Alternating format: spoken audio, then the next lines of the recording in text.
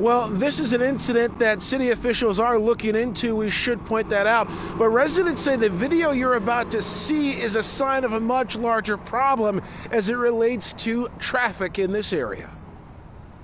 The video is absolutely chilling. A Cadillac slams into a commuter bus as it comes up Rosa Parks Boulevard near Temple, not far from the Motor City Casino. The gentleman was actually ejected from his car. I mean, this is kind of a big deal. Dallas Barr, a local businessman, runs through the video as captured by his company's surveillance system. And this gentleman comes in and hits right there and um, sends the bus through all this you know, all these people's homes and things. Police tell Fox 2 the violent crash left the bus driver with minor injuries. It's believed to have been empty at the time, but the driver of the Cadillac was pinned and placed in serious condition.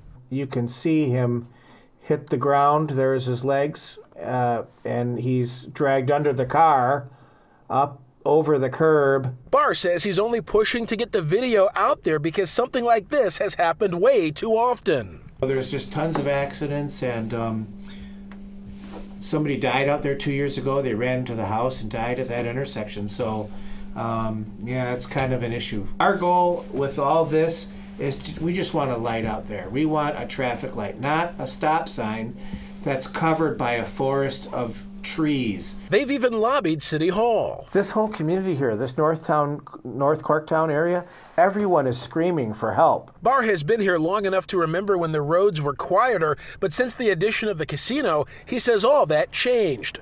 And now it's like the mecca. It's like a, a entertaining. It, people come from all over. They don't know these roads.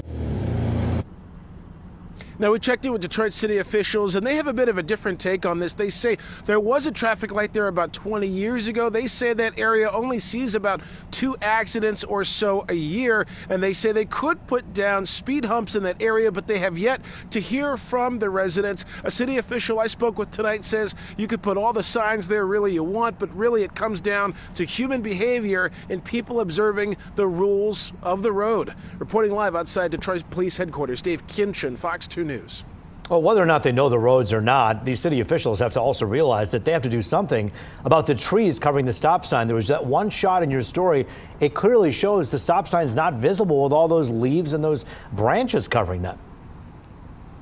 Yeah, that's a big issue too. That's something that uh, is a relatively easy fix too. Most city governments, they do have a department that can go out, simply clip those trees and make sure that sign is visible. Definitely something the residents there said and definitely something you saw in the video, absolutely. And the people who live there know better than anybody else. Perhaps that light would be an improvement as well. Something needs to be done before someone gets more hurt than they already have. Dave Kinchen for us live. Thank you.